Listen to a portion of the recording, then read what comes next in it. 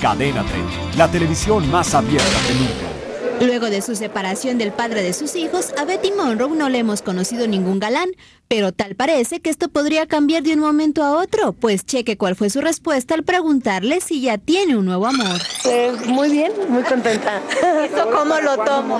¿Cuál boda? No, ¿por qué me quieren casar? Estoy muy bien, estoy contenta, gracias. Bueno, no boda, pero el corazón está contento. El, con el corazón y yo estoy muy feliz. Soy El cuerpo se trabaja a diario, se hace ejercicio.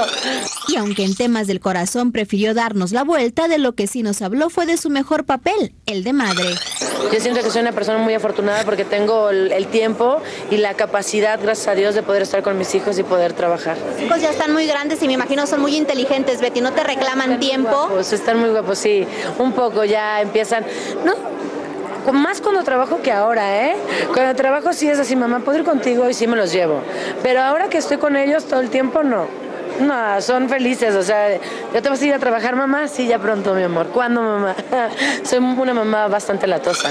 Betty asistió ayer por la noche a un evento en el que se presentó una nueva colección de relojes, en el cual también nos encontramos a Gretel Valdés, a quien se le preguntó su opinión acerca del escándalo en el que su compañero de trabajo, Alexis Ayala, se vio envuelto luego de que se publicaran unas fotografías de su pareja Fernanda López besando a otro hombre. Te digo una cosa, no, tenía, no estaba enterado y la verdad que eso es problema de ellos, es asunto de ellos y yo la verdad que respeto y admiro muchísimo a mi compañero Alexis y, y la verdad que mi apoyo, mi amor siempre va a tener, pero la verdad en esa situación yo no me meto.